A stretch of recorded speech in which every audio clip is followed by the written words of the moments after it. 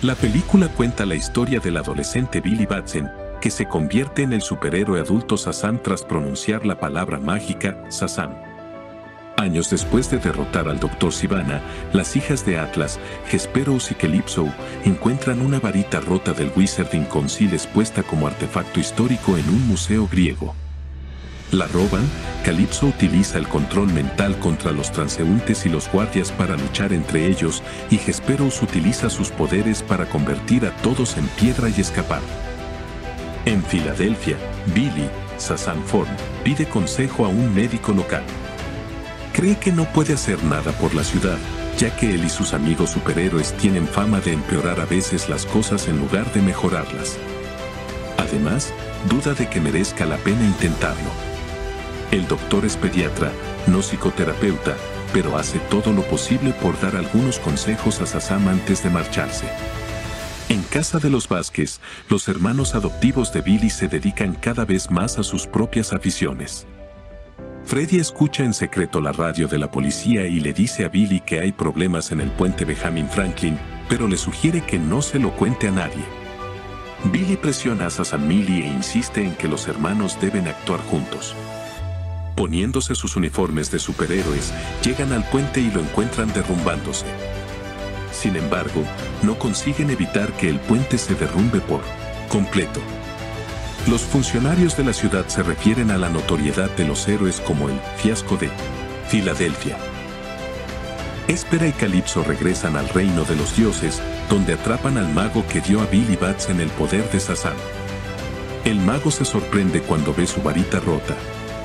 Esto se debe a que se suponía que la varita protegía la barrera entre el mundo y la tierra. Espera acusa al mago de robar el poder de los dioses para sí mismo utilizando la varita, y ella y Calipso le obligan a arreglar la varita invocando el nombre de su maestro. La familia Sasami regresa a la Roca de la Eternidad, convertida en refugio de superhéroes, y Billy convoca una reunión para discutir los acontecimientos del día. Uno a uno, los hermanos se marchan por motivos personales, dejando solo a María, que ha abandonado la universidad para dedicarse a sus hazañas. A Billy le preocupa que los hermanos no sean capaces de llevarse bien, pero María sabe que él tiene problemas.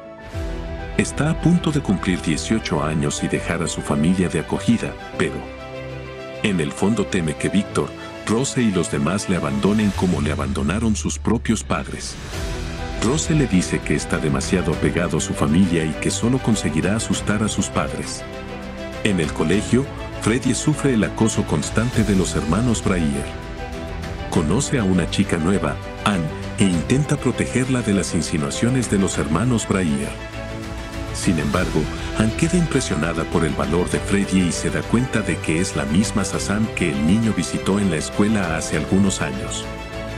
En el mundo de los dioses, el mago envía a Billy un mensaje con un trozo de su varita mágica que Billy recibe mientras duerme. El mago está enfadado porque Billy desperdició su poder rompiendo su varita y le advierte de que las hijas de Atlas van tras Billy y sus hermanos. Billy se despierta en mitad de la noche y ve que Freddy ha desaparecido. Freddy decide pasar la noche como su super alter ego, el Capitán Everpower, y robar un coche armado. Al día siguiente, Anne se encuentra con él en el colegio y almuerzan juntos. Se llevan bien porque tienen un hermano asustadizo, pero... Entonces son interrumpidos por Billy y exigen hablar con Freddy. Este le cuenta la advertencia del mago y le hace prometer que acudirá a la reunión familiar en la roca después del colegio. En el estudio, María, Peter, Eugene y Darla acuden a la llamada de Billy, pero Freddy no aparece le cuenta su sueño y le da información sobre las hijas de Atenea. Eugene les muestra el informe sobre el caos en el museo. Se sorprenden al ver al personal allí, y Billy confiesa que solo dejó los objetos expuestos en el recinto ferial abandonado después de utilizarlos para hacerlos más fuertes. No conocen a las hermanas y Peter les enseña la biblioteca secreta de la Roca de la Eternidad y una pluma mágica intelectual llamada Esteve. El bolígrafo lo sabe todo y le preguntan por las hijas de Atlas. Mientras tanto, Ana lleva a Freddy al tejado del colegio para jugar con él. Ana lleva a Freddy a la azotea del colegio, donde Freddy quiere que conozca a su amigo el capitán Everpower. Justo cuando está a punto de ir a llamarle, el capitán Everpower aparece delante de Anne. En el despacho, Esteve muestra a Sasam toda la información que necesita, incluidas las habilidades de las hermanas. De repente se dan cuenta de que Atlas no tenía dos, sino tres hijas. Esperoi, Calypso y Ansia. Billy se da cuenta de que la nueva amiga de Freddy es en realidad una de las tres hermanas. Ann habla con Freddy barra diagonal Capitán Everpower, que parece preocupado por dónde está Freddy y no quiere que se involucre. De repente, Espera y Calypso aparecen y atacan a los superhéroes. Cuando Freddy intenta defenderse, Espera le golpea con su varita, despojándole de sus poderes y convirtiéndole de nuevo en un adolescente. Ansie se sorprende al descubrir que Freddy ya no puede transformarse. Billy acude en su ayuda, pero Ansie utiliza sus poderes para cambiar la realidad e impedir que se acerque más. Cuando los demás llegan al lugar, Espera amenaza a Freddy cuando intentan detenerla. Les hace volar por los aires y vuela sobre él. Pero Billy, incapaz de soportarlo, se lanza en su persecución. Antes de que pueda alcanzarla, Espera crea un inexplicable campo de fuerza sobre la ciudad y arrastra a Sasam y al resto de los hermanos al interior y las hermanas desaparecen junto con Freddy. Freddy despierta en la prisión del reino de los dioses con el mago. El mago está molesto por las constantes preguntas de Freddy y dice que no debería haber dado poderes a los niños. Freddy está de acuerdo con él en que no fue la decisión más sabia. En la roca de la eternidad, la familia Sasami intenta decidir qué hacer. Negocian con sus hijas y deciden darle el poder a Freddy, pero en realidad el plan era capturar a una de las hermanas y usar su poder. Así que ordena a Esteve que envíe una carta. Llevan a las hijas ante Freddy y el mago, que pregunta a Freddy por los otros héroes.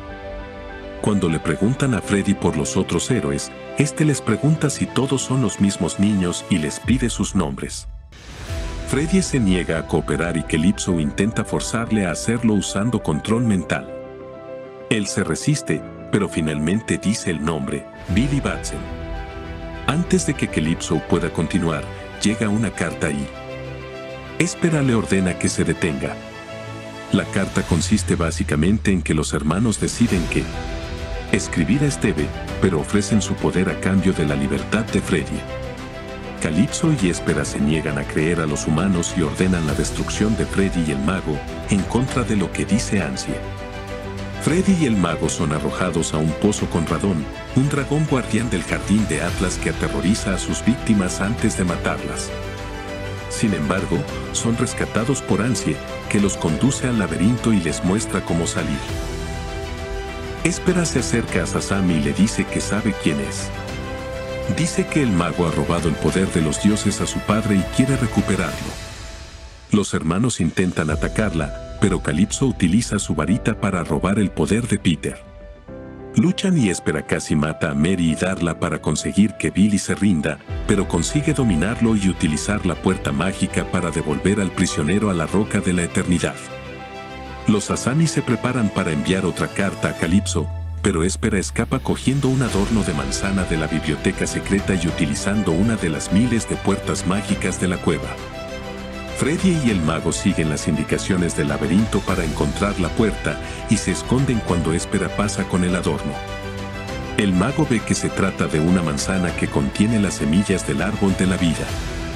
Las chicas discuten sobre cómo usar la manzana, Espera y Ansie quieren usarla para curar su reino, mientras que Calypso, hambrienta de venganza, quiere usarla para destruir el reino humano. Freddy se cuela en la sala del trono y se lo lleva, pero es descubierto. La familia Sasami rescata a Freddy y al mago a través de una puerta mágica, pero Calypso coge la varita de Hésperes, libera a Radón y lo devuelve a la tierra. Los hermanos, aún en forma de héroes, regresan con la familia Vázquez para evacuar a Víctor y Rose. Se rebelan ante sus padres sustitutos y, poco después, aparece un dragón que destruye la casa. Se retiran y vuelan a la chatarrería, pero Calypso, cargada con un monstruo gigante, consigue robar los poderes de Eugene y Darla. María intenta coger la manzana, pero Calipso le quita los poderes al volar y Sazam tiene que dejar que Calipso coja la manzana mientras la salva. Calipso vuela al estadio de béisbol, planta la semilla y el árbol de la vida cobra vida, a pesar de ser diezmado por los plantados fuera de su alcance. El árbol de la vida echa raíces en Filadelfia, donde aparece un monstruo mítico que ataca a los indefensos residentes. Ansia está horrorizada por lo que ha hecho su hermana y es testigo de cómo su familia contempla la masacre. Le dice a Freddy que siente algo por él y se dispone a persuadir a Esper para recuperar a Calypso. Billy se desespera, sin saber qué hacer, y le pide al mago que restaure el poder de Sazam y lo convierta de nuevo en campeón. El mago le explica que el poder ya no le pertenece a él, sino a Billy. A Billy se le ocurre entonces un plan. Pide al resto de la familia que encuentre la forma de sacar al monstruo del estadio para poder enfrentarse al dragón. Antes de irse, Rose exige ver a su hijo en su verdadera forma. Billy se transforma, se abrazan y Rose le dice que si abandona su hogar y su familia, nunca envejecerá. Billy se transforma en Sasam y se va volando. Ansie convence a Hésperes. Los árboles pueden restaurar el reino de los dioses, porque en cambio ellos solo pueden pudrirse y engendrar la muerte en su reino. Hésperes se enfurece por la intolerancia de Calipso y le ordena que se retire. Calipso hiere mortalmente a su hermana y utiliza su bastón y sus propios poderes para convertir a Ansia en humana y que pueda morir con los humanos.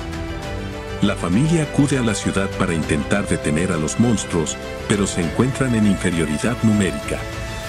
Darla, que ha cogido un bolígrafo del acantilado, pregunta a qué temen los monstruos. Esteve responde que temen al unicornio, el rey de las bestias. El mago les explica que los unicornios, al contrario que en los cuentos de hadas, son criaturas oscuras y crueles y que solo pueden ser derrotados con ambrosía. Los hermanos y el mago abandonan el carruaje para ir en busca del unicornio, pero Freddy se da cuenta de que Ansia deambula por el caos y la sigue. Billy encuentra a Kelipso y Radón y lucha contra ellos. Pero las llamas de Radón dañan su traje y sale despedido hacia atrás. Sasam intenta usar un rayo contra ellos, pero es amplificado por el campo de fuerza y absorbido por el báculo.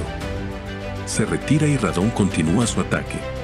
Los hermanos, liderados por Darla, se encuentran con una manada de unicornios y se ganan su lealtad con caramelos Kitties. Atacan a los unicornios y expulsan a los monstruos de vuelta a las afueras de la ciudad. Sasami encuentra a Esper apenas con vida y le pregunta si puede matar a un dragón cargando su bastón con un rayo. Espera responde que es posible, pero que destruye el resto del campo de fuerza. Le pide un favor. Radón y Kelipso encuentran a Ansie entre una multitud de civiles e intentan matarla mientras huye. Freddy la encuentra y lucha contra las fuerzas del dragón del miedo para llegar hasta Ansie. Cuando se enfrentan a la muerte, Aparece Sasam, coge el bastón y atrae a Calypso y al dragón de vuelta al salón de baile. Atrae a Calypso y al dragón de vuelta al salón de baile y, cuando llegan a él, Espera utiliza su poder para reducir el campo de fuerza de modo que solo rodea el salón. Calypso se enfurece e intenta escapar. Mientras tanto, Billy encuentra a Víctor, Rose, Ansie y Freddy al borde del campo de fuerza. Se despide de ellos y les dice que hará todo lo que esté en su mano para proteger a su familia. Se dirige al estadio para enfrentarse a Kelipso y Radón. Sasam lanza una serie de rayos al campo de fuerza, provocando una tormenta eléctrica que carga el bastón. Consigue dominar al dragón y acaba volando entre las llamas mientras el bastón explota de energía. Durante la invocación del campeón, un rayo sobrecarga el báculo, provocando una potente explosión que mata a Kelipso y a Radón. También derrumba el árbol y destruye a todos los monstruos. Poco después, Hésperes muere a causa de sus heridas y el campo de fuerza desaparece. La familia busca a Billy y encuentran a Freddy muerto y su forma juvenil entre los escombros. Freddy se entristece por la pérdida de su mejor amigo. Ansie dice que, Después de todo, Billy era un dios de verdad y un héroe. Los magos piden que sea enterrado ileso y que su cuerpo sea llevado al reino de los dioses. Tras el funeral, Darla pregunta si la magia podrá volver alguna vez al mundo, pero el mago responde que la varita carece de poder y que solo los dioses pueden restaurarla. En ese momento aparece Diana de Temisida. Al ser hija de Zeus, es capaz de mover la varita y restaurar el reino de los dioses, devolver la vida a Billy y dar poder a Sasan. Sasan invita torpemente a Wonder Woman a unirse a él, pero ella le aconseja que se dedique a salvar el mundo. Billy se reúne con su familia y utiliza el bastón para recuperar todos sus poderes. Poco después, la familia reconstruye su hogar y celebra una cena familiar. Ansie se queda en el mundo mortal para estar con Freddy y el mago llega transformado, llevándose su varita para mantenerla a salvo y despedirse de ella hasta que disfrute de su nueva libertad. Antes de irse, Billy le pregunta cuál debería ser el nombre de su superhéroe, ya que nunca lo encontró. Mago le dice que Freddy cree que pueden encontrar un nombre mejor, pero es Hassan. En la prisión de máxima seguridad del Dr. Sadies, Sivana recibe la visita de la oruga inteligente MR Mind, a quien no ha visto desde que se conocieron hace unos años. Sivana está impaciente por ver cómo la criatura pone en marcha su plan, pero el señor Mente dice que tiene una última cosa que hacer.